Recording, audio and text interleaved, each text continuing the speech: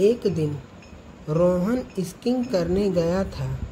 जब वहाँ से वापस लौटा तो उसने देखा कि उसके घर पर कुछ कीमती सामान चोरी हुआ है। जब जासूस मेहुल ने घर के बाहर चोरों के पैरों के निशान देखे तो उसका शक रोहन के परिवार वालों पर गया और उसने उनसे पूछताछ की।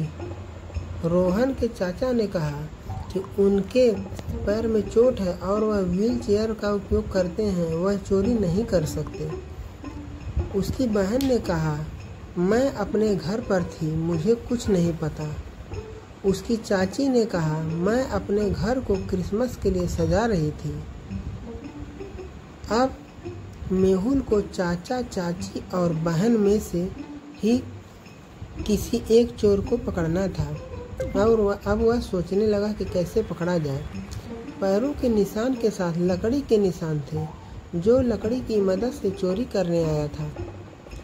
रोहन के चाचा के पैरों में चोट थी, इसलिए वह चोर है।